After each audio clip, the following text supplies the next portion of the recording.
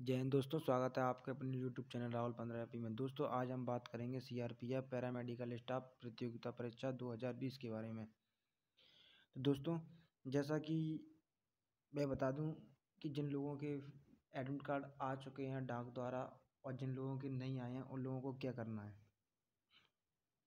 दोस्तों, जैसा कि कुछ लोगों के एडमिट कार्ड आ गए हैं और कुछ लोगों के भी आने, आना बाकी हैं। तो दोस्तों, आपको परेशान होने की कोई ज़रूरत नहीं है।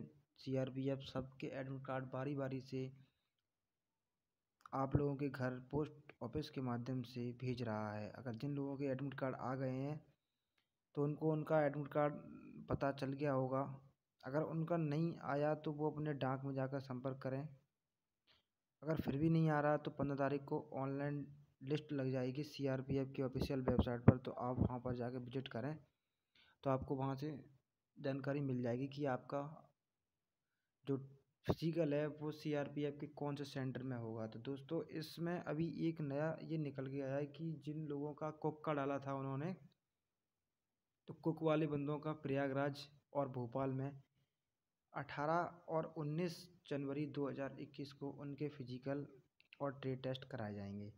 लेकिन कुछ लोगों ने सफ़ाई कर्मचारी का डाला था तो जैसा कि मेरे पास एक एडमिट कार्ड आया है तो मध्य प्रदेश के जो कैंडिडेट हैं, उन्होंने सफ़ाई कर्मचारी का फॉर्म डाला था तो उन लोगों के का जो फ़िज़िकल होगा, वो सीआरपीएफ सेंटर नीमच में होगा। तो दोस्तों जी, मेरे पास एक एडमिट कार्ड आया है किसी बंदे का तो जिसमें बता दूँ मैं, इस बंदे ने सफ़ाई कर्मचारी का फॉर्म डाला था तो इसका physical C C R P F Neemuch, Madhya Pradesh.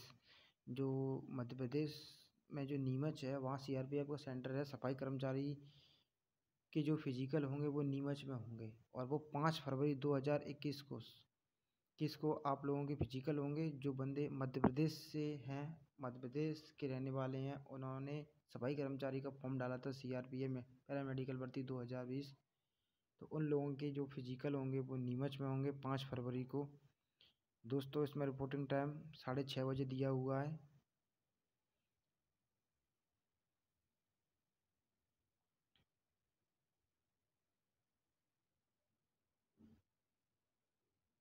दोस्तों, इसमें आपके लिए निर्देश भी दिए गए हैं कि आपको वहाँ क्या क्या लेके जाना है। तो दोस्तों, इसमें आपको, जैसा कि मैं बता दूँ, इसमें इसमें इन्होंने लिख रखा है